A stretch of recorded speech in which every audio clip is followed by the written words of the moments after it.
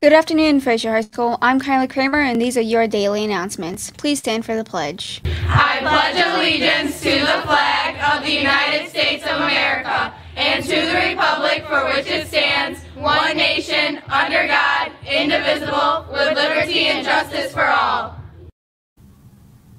Need academic help? NHS members are available for tutoring during Smart Hour. Tutoring takes place in the Center Monday through Thursday. Please contact your counselor or use the link found on the daily announcements to make an appointment. On Friday, October 22nd, we roll sleeves to save lives. HOSA is proudly partnering with the American Red Cross to host the 2021 Fall Blood Drive. If you are 16 years or older, you can donate blood.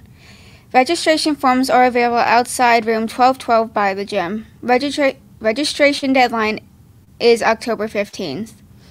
Now on to sports. Our girls junior varsity volleyball will be playing a home game against Detroit Country Day High School at 4:30. Our girls freshman volleyball will also be playing a home game against Detroit Country Day High School at 4:30.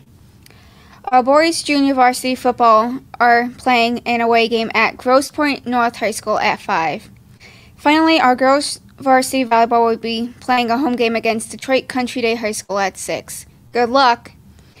Fraser High School wants you to know it's okay to say. If you see something suspicious, don't be afraid to speak up and tell an adult or text the number found on the FHS Today website. Today and every day, the FHS daily announcements are brought to you by the Fraser SWAT team in the Fraser Broadcasting class. Announcements can be found today at can be found at fhstoday.weebly.com. As always, I'm Kyla Kramer, and I hope you have a great rest of your day.